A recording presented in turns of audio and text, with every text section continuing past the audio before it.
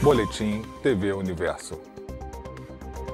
Apoio Universidade Salgado de Oliveira. Colégio de Aplicação Dom Helder Câmara. Jornal O São Gonçalo. E Rádio Mania. Olá, boa tarde. Hoje é segunda-feira. Fique por dentro das principais notícias do dia na primeira edição do Boletim TV Universo.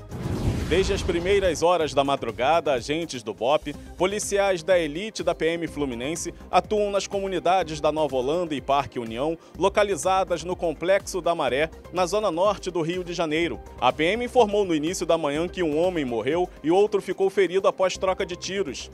Vídeos nas redes sociais mostram a circulação dos policiais nas ruas das duas comunidades. A operação é uma resposta ao assassinato do cabo Vitor Hugo Lustosa Barros. Ele estava em patrulha na Avenida Brasil no sábado e foi atingido na perna por bandidos que passaram num carro branco atirando. Vitor Hugo ingressou na corporação em 2011 e era lotado na unidade de polícia pacificadora do Salgueiro e deixa uma filha.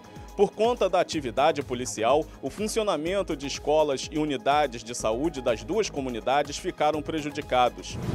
Profissionais de educação do município de Niterói realizaram uma manifestação pela manhã nas principais vias da cidade até chegarem à porta da prefeitura no centro. O acesso à Ponte Rio-Niterói pela Avenida Jansen de Melo chegou a ser fechado.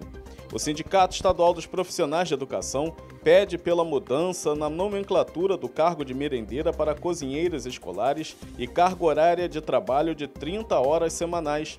Eles reivindicam também melhores condições de trabalho.